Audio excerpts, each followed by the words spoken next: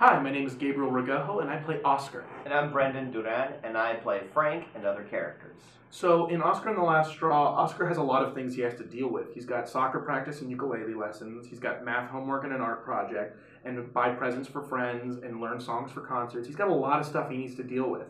Yeah, and having to do all of that stuff makes Oskar freak out. That's why I come in as the character Coping Cat and I help Oskar figure out what's the best way to deal with all the things that he has to do by doing something called prioritizing. And prioritizing just means putting one thing ahead of another depending on its importance. So, for example, Oskar decides that he has to do his math homework first because it's the most important thing he has to do and he has to do it super soon. So he puts it at the top of his priority list. Or like when Oskar realizes that soccer practice and ukulele lessons are something he can just show up to. He doesn't have to worry about them right away. So he, those are on the towards the bottom of his list of things he needs to worry about.